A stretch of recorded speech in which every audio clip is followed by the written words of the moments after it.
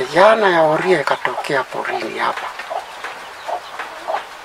nikaona ni labda msungaji angamia ama mtu tu alikuwa anatembea na njia, akaja akasimamia mimi, habari mzee, kamwambia mzuri, akainama chini, nikaona yeye anakaa tusungumuze. Kuenda chini ana- ananikamata mguu na kuinua juu nikamuuliza sasa, hii ni wasimu kani wewe iko nayo na siku mkuu kwa nini? Akasema mtaona. taona na hii viatu nitatoa. Sasa hii anatupa lungu, mimi nasaidia na mkono, kisha anatupa ngine, nasaidia na ngine, hapa navunja, hapa navunja. Basi kwa hivyo kaona hii alikuwa anataka kichwa apike hii mzee ni ngumu kufika yeye, lakini mimi kachukua hatua ya kunipika mkuu kwa nguvu yake akafika akavunja, mimi nikaanguka, kanikata panga hii na hii mara tatu.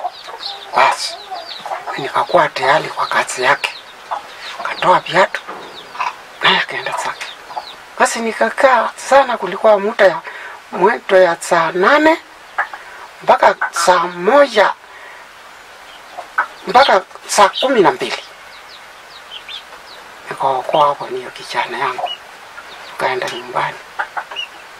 Basi na mlolongo yote hospitali Mudha, tukatengenezwa kichwa subuhi yake Ikudha.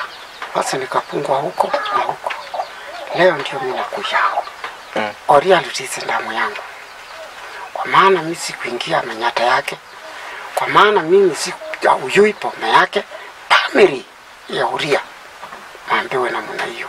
Hatiani waangalie hiyo kitendo, mtu ambaye iko kwa yeye nyumbani na anaingiliwa kwa upuzi, na sio mimi peke yangu, na si mwenzangu mwenzangu ule mwingine. Ni kama sisi area mover, na sisi hapana bahati wa hiyo maneno, tunaachiliwa kama kuku ilienda na mwiwa. Na huyu mtu alitumbua mimi kwa kuona wala wengine wanatupwa kama takataka. Mimi sio takataka, mimi ni mtu na mimi mtu yako. Kwa maumio yangu yote au maridhi kabisa, matoke nje hii